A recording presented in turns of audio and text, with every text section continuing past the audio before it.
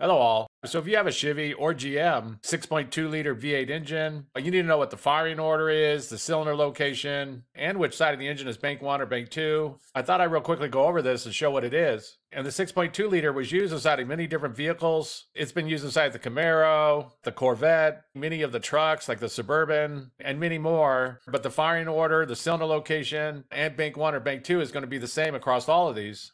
So to make this easier to understand, I made up this diagram.